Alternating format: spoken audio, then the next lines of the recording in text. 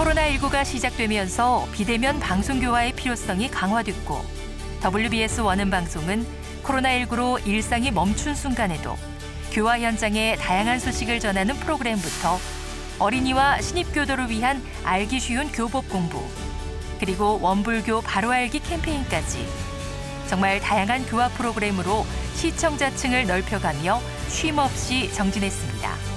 그리고 어려운 시기 보다 안정적인 제작 환경을 만들기 위해 독립 사옥을 추진했습니다. 그 결과 지난해 원음 방송은 새 사옥으로 이전을 마치며 방송교화의 사명을 이어갈 수 있는 바탕을 마련했습니다.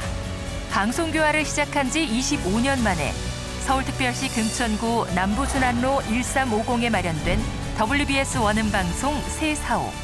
원음방송은 사옥 이전을 계기로 일원상의 진리를 세상에 전파하는 방송국으로서의 자리를 더욱 굳건히 하며 언제 어디서나 접할 수 있는 방송 교당으로 원불교의 미래를 밝게 열어가기 위해 더욱 노력하고 있습니다. 1998년 지상파 라디오 방송에서 시작해 TV 방송을 개국하고 그리고 이제는 전 세계에서 구독 가능한 뉴 미디어까지 이전보다 더 다양해진 미디어 채널로 확장한 WBS 원음 방송. 지친 현대인들의 마음을 위로하며 맑고 밝고 훈훈한 방송으로 낙원 세상을 만들어가는 원음 방송의 교화 프로그램은 원불교 역사를 새롭게 할 것입니다. 세상에 없던 채널, 원불교의 유일한 방송 채널. 이 WBS 원음 방송이 개국 25주년을 맞이합니다.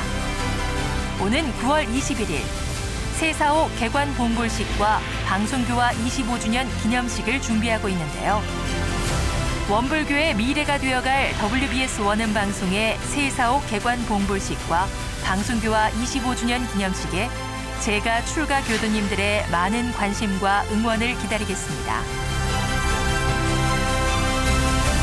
지금까지 보내주신 큰 사랑에 깊은 감사를 드리며 세사호 개관 봉부식과 방송교화 25주년 기념식에 여러분을 초대합니다.